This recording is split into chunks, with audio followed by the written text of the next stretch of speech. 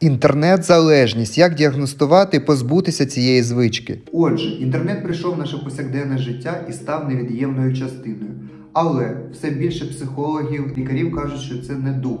Чому? Тому що ми витрачаємо дуже багато часу на інтернет і не розвиваємо своє власне життя, не розвиваємо кар'єру, не спілкуємося з друзями.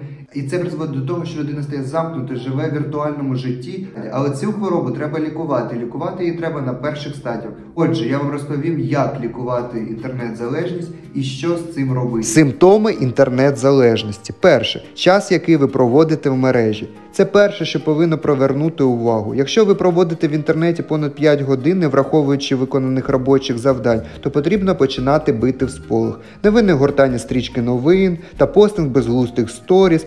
Це дуже швидко переростають у відмову від реального життя і спілкування. Друге перевага віртуального життя над реальним. Залежні від інтернету люди відмовляються зустрічатись з друзями, не мають інтересів поза комп'ютером чи телефоном, відмовляються від кар'єри і втрачають цікавість до соціального життя. Третє агресивність. Люди з інтернет-залежністю дуже дратівливі. Вони агресивно ставляться до тих, хто намагається відволікти їх від гаджета, або часто вступають у конфлікти з оточуючими людьми.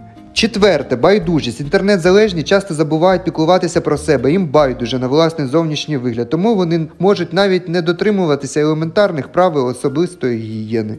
Якщо ви виявили в себе ці симптоми, то треба негайно почати лікування. Розвантажувальні дні, уберіть телефон, уберіть свої смарт-часи. Взагалі, позбудьтесь інтернету на декілька годин. Почніть малювати, почніть щось читати, пишіть вірші, все що завгодно, тільки без телефону. От уявіть собі, три години без телефону. От просто займайтесь тим, що вам подобається, і ви з часом зрозумієте, що є якісь пріоритети, і час треба витрачати раціонально. Позбувайтеся поганих звичок. Так і хочеться сфотографувати свіжоприготовлений борщ та викласти в мережу, а стрічки ваших сторі з однакових селфі перетворилися в штрих-пунктирну лінію.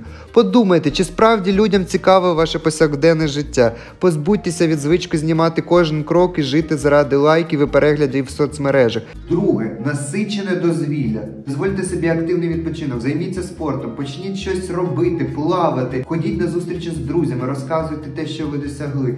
Це дозволить вам проводити активно час і не думати про інтернет. От заведіть собі щоденник і напишіть один день віртуально, один день реально, і все зміниться. Сподіваюсь, вам сподобалось моє відео. Поставте лайк і підпишіться.